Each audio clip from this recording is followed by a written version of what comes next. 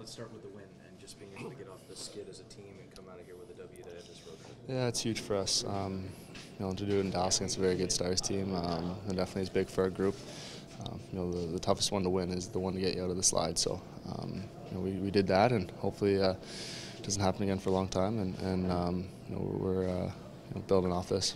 Personally, you checked big one, a big milestone off your list with your first career hat trick. Your thought on that? Um, yeah, it was. I mean, three three pretty lucky goals. So I said it yesterday. It's a it's a funny league that way. Um, you know, you're getting great A chances and uh, they're not going in, and then all of a sudden um, you just start putting it there, and, and, they are going in. So it's weird that way, and um, you know, definitely happy to, to get off uh, that slump. What were you thinking when the first one went in? When you were passing it, obviously, and it went off.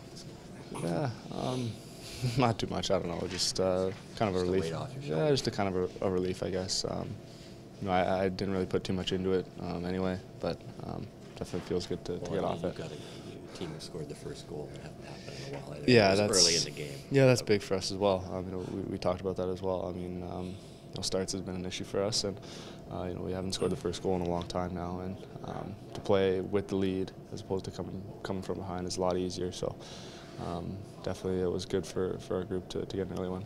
You didn't think you worked too hard on the second and third one?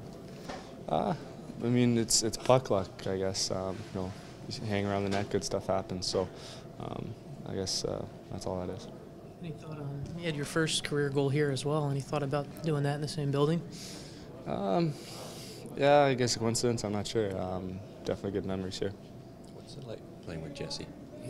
Yeah, he does a lot of good things. He's a big body. Um, nobody's. He's also still trying to find his way. So, um, you know, you can talk to him through certain situations and, and stuff like that. And obviously, he's got some raw ability that um, you just can't really teach. So, um, definitely uh, try and find him. So, hat tricks. How many multi-goal games did you have before this? Do you remember how many two-goal games you had? No. You don't keep track of No, That's no. up to us to yeah, I figured you guys would have known, but. hey? you got to research. Well, I think he had three last year. I think maybe four. Yeah, I'm not sure. He had the one in the first game yeah, this year. Yeah. I don't know. Yeah, I mean, it's uh, definitely nice to get over that two-goal hump. I guess I don't know. It was I don't have too many, that's for sure. So.